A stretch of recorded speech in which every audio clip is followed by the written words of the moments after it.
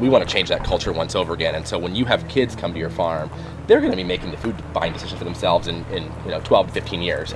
And so the more we can expose them to agriculture, the faster we change this cultural revolution in one generation where people it's like, no, I buy my food direct from farms. I value the farmer. I want to have a relationship with them. And that's what we want to see happen because that's that's when this system really gets stronger uh, and has a lot more resiliency. Chaffin Family Orchards is one of the most diversified permaculture based family farms in Northern California. Located in Oroville, which is in Butte County, the property lies on the northeast side of the fertile Sacramento Valley. For five generations, the Chaffins have farmed this land and have had a deep respect for the environment, preservation of open space, promoting wildlife, and producing food for the local community. The unique microclimate allows Chaffin to produce fresh picked orchard fruits 365 days a year. Everything is picked at the peak of ripeness, and cold storage is never utilized to lengthen shelf life. The farm produces 40 different varieties of orchard fruits and is well known for its 100 year old olive trees as well as its broiler birds. And then 500 layers on the farm year round. And then we direct market all of our products ourselves. So we sell grass-fed beef, lamb, goat, chicken, eggs, and wool. This is like chicken heaven. Yeah, it might be time to get the chicken tractor out. People pay a lot more for making memories than they do for tangibles. And as us farmers, we're always going to be selling tangibles. And they'll pay more direct for the farmer, and they'll pay more for quality, but there's limits to that. You look at experiential-based sales, there's no limits. That's, that's where the big dollars go.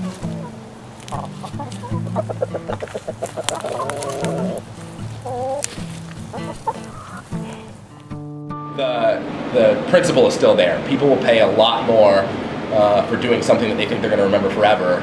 Um, or it's going to change perspective of their children's lives and something they put in their mouth and eat once. The goal is that people bring their whole family, uh, really get into the farm life, uh, have great food, and it's really about making memories. This company uh, started for, by a guy who worked for Euro Disney, and he wanted something that was more authentic, less plastic, less off the shelf, really connect with nature. Um, and he got the idea we should do this on farms. These are working operations that can benefit from this. And so all feather down tents are on farms. It's got to be on a small family working farm. Um, that's the model. Uh, and they've got 5,000 of these tents around the world uh, now at this point. They're all over Holland, the UK. They're just starting in Germany. They're just starting in Belgium. They're just starting in France. They've got them in Australia. And then in the US, they're in New York, Chicago, and, San, and this the San Francisco market. Feather Down Farm Days. The partnership essentially they do a lot of the media and bookings for the farm stay, and then we provide the farm experience once we're responsible for guests once they arrive at our farm. And so, sort of the concept of a feather down farm is is if you're to travel to any farm, you, you know what to expect from the tent. Um, it's much like staying at a, a certain hotel. You kind of know what you're getting from that experience. And then each farm provides a little bit different farm experience. And so you could go to Belgium and the and, tent's and going to they're be the going to look exactly the same. So that's that's where Kelsey's talking about. It's pretty cookie cutter from that regard. Okay. So they want families to be comfortable with this part of the experience, so that then they just choose a different place to stay every year. And so all the cooking and light is wood or, or lantern lit. Um, so it's all non-electric. There's cold running water for cooking in here, as well as a toilet. And then there's common shower facilities for all four tents. Um, there's a set of bunk beds back here. It's more of a kids room. There's more of a parents room here. It's a full-size bed. And then this covered bed seems to be the, the favorite so far. I think the kids really enjoy that one. The feather down tents accommodate up to six people, a maximum of five adults and one child up to 12 years old. The generous living area of 484 square feet includes all the comforts of home.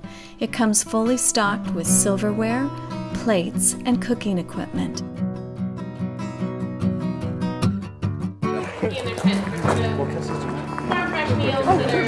simple and, and easy to prepare and kid friendly, but something that's sort of a part of the experience of slowing down and preparing your own, own food within the tent.